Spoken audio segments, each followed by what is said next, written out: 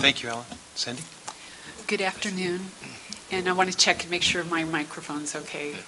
Okay, Get thank you. ACWA really appreciates the opportunity to be at this table today and provide comments for you. As you may know, we were very involved back in 2009 in the creation of the package, and as Alf said, it, it is a package. SB 7 uh, 1X was the bill that created the council, but it was part of a package with other bills as well. We supported that package and supported the creation of the co-equal goals. We think that was a very um, helpful foundation for your work. As you know, we have actively participated in your process, and we greatly appreciate the council's uh, consideration of our comments and staff's consideration of our comments. As um, Councilmember Gray noted, you know, it's not just the creation of the law, it's not just the creation of the plan. The implementation, obviously, is a critical phase of this work, and that's why we're all here today. We have a few suggestions in this area, and I'm going to focus on three different topics. One, the implementation committee, two, the science, and three, the comprehensive approach. So on the implementation committee, um, this is exciting. We think it's critical, and we would suggest that you get it up and running as soon as it can be up and running. We would suggest having the top people from the agencies at that table. So, for example, for the Department of Water Resources, we would suggest that it would be Director Mark Cowin. When I was at Cal EPA, we had a uh, across the agencies coordinating committee on water. And when I went to those meetings, it was the Secretary of the Natural Resources Agency at the head of the table. The chair of the water board was there. The executive director was also there. Um, but you had the heads of the agencies who could make commitments for the agencies. They could make decisions there. There was nothing where somebody had to say, well, I got to go back and check with my boss and come back. They could speak for the agency right there. So that's what we would suggest. We'd also um, suggest, and I'm sure you're intending on doing this, it's sort of obvious, but we would suggest that you really set a tone for this committee that they should be working to deliver solutions. And agencies can work together and solve problems. I, that was a lot of my job when I was an undersecretary at Cal EPA. It takes a lot of work and goodwill, um, but it can be done. And so we would suggest that that be the tone, that they will focus on delivering solutions. It may be helpful to have a good facilitator at these meetings to move things along um, and, and get to those kinds of solutions. We'd suggest that you pick a small number of specific issues or projects that they should work on, not have such a big list of issues that they don't accomplish anything. Really focus on some important key areas. Uh, one example that might be a good one to work on is water transfers. And the reason uh, we mention that one is that water transfers can help the state achieve the co equal goals. Uh, For us to get there, you've got to have water where you need it at the right times. And being able to move water can help the state do that.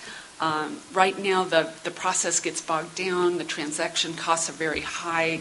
To solve those issues, it's going to take multiple agencies working together. This is the perfect opportunity for this implementation committee. So that's an example of one project that could be worked on. So those are our suggestions relative to the committee.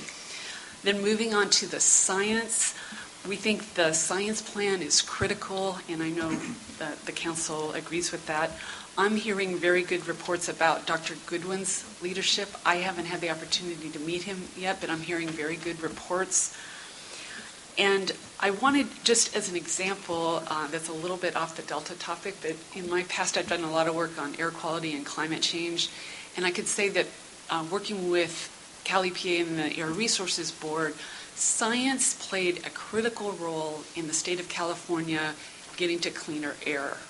Part of it was technology development, but part of it was pure science. And there were, of course, different views on the science, but ARB looked at the different views, came together, and went forward. And what that helped them do was look at what were the different contributors to the inventory, what was causing the problems.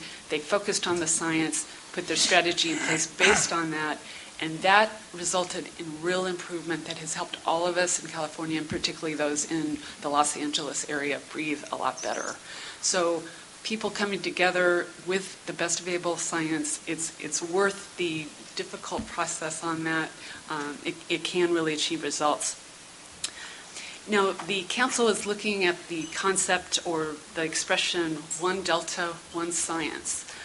And I think that approach sounds really good on its face. We would uh, offer some cautions on that and some thoughts. Uh, we would suggest that the water community, public water agencies, and the NGOs be able to be at the table for collaboration on the science. Um, when there can be agreement on the science, that's obviously fabulous, and that helps stakeholders and the agencies all be vested in the solution. That's the ideal scenario. But we don't always get to the ideal scenario, obviously. But at a minimum, bringing the people, the science uh, world together to coordinate and to share information, that's a good thing in itself. And um, having those robust discussions and seeing where folks can come together on the science, that will be very helpful to you. So one science is a good goal, but if, if you don't get there, don't worry that having the robust discussions, that will help you. So those are our comments on the science. And then finally, on the comprehensive approach, this is, as you know, a consistent comment that we've made along and all the way along, and I, I was glad to hear the water board referencing it again this morning. Um, just that we need, as we work on these issues, to continue to look at all the stressors and how they affect the delta, and that's um, key to achieving the co-equal goals. So with that, I'll, I'll say ACWA wants to play a constructive role in the implementation. We look forward to working with you, and I appreciate the opportunity to be here today.